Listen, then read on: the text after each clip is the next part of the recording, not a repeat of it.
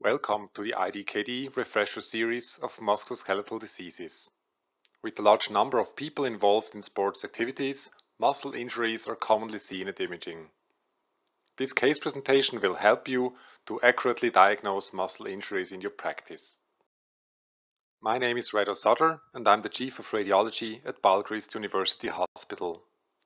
Balgrist University Hospital in Zurich is specialized on diagnosing and treating musculoskeletal diseases.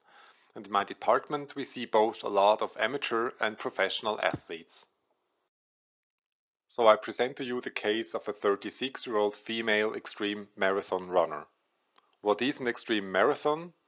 In this case, it means very long distances in the mountains with a lot of uphill and downhill running. The patient presented to my department one day after the race. She had excruciating pain in both her thighs and was barely able to walk. We performed an ultrasound examination and you can see a transverse section of the right thigh with a lot of epifascial fluid around the quadriceps femoris muscle, but also increased fluid within the muscle itself. So what is our suspected diagnosis? Some form of muscle injury, right? Let's first look at the different types of muscle injury that we can encounter. The first type is indirect trauma. This is the most common muscle injury. Often the myotendinous junction is injured as this is the most vulnerable part during eccentric contraction of the muscle. This was a case of a young ice hockey professional who lunged on the ice with resulting sudden pain. At MRI, we see a muscle strain of the gracilis muscle with a partial tear seen nicely at the sagittal T2 and a lot of surrounding hematoma. The next type is contusion, so a direct trauma.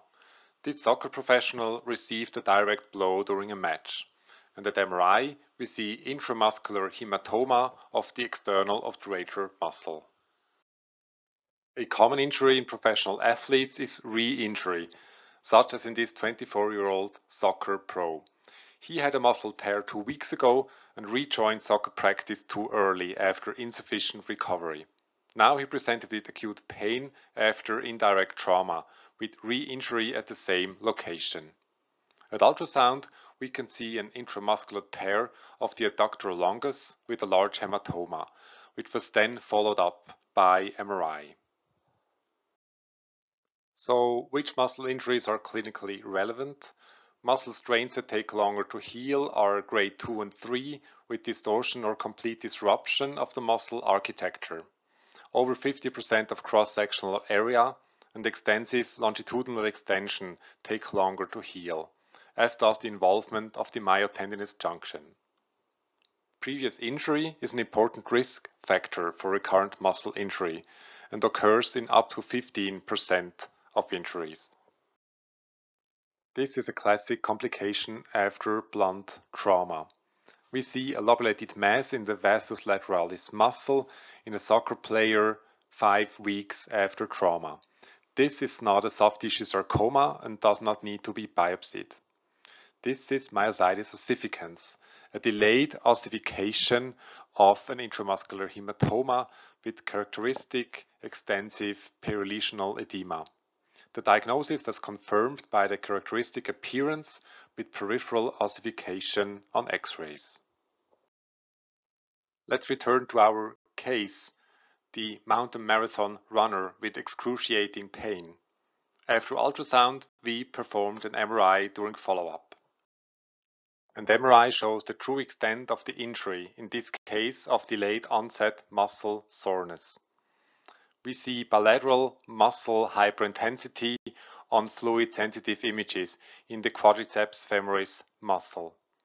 Delayed onset muscle soreness, or DOMS, occurs from microstructural muscle injury that is followed by an inflammatory process and subsequent shifts of fluid and electrolytes.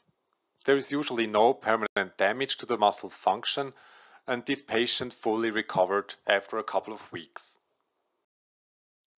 What are the differential diagnoses to delayed onset muscle soreness? In addition to the different types of muscle injuries we already discussed, I'm showing you a case with a very similar appearance at ultrasound. You can see increased fluid here in this 27-year-old student who fell from a Vespa scooter and suffered a degloving injury of the muscle fascia at the peritrochanteric region. The fluid is actually trapped between two layers of the fascia and we see a different fluid distribution in the supine and standing position. This is a classic case of a Morel-Lavallée lesion and as the fluid is trapped between the fascial layers, these lesions often persist for a long time and may need to be drained. Let's sum up my case. I showed you delayed onset muscle soreness and we looked at the differential diagnosis of an acute Morel-Lavallée lesion, indirect muscle trauma and re-injury of a muscle. Here are some literature references. And with this, I thank you for your attention Stay tuned with more IDKD cases to come.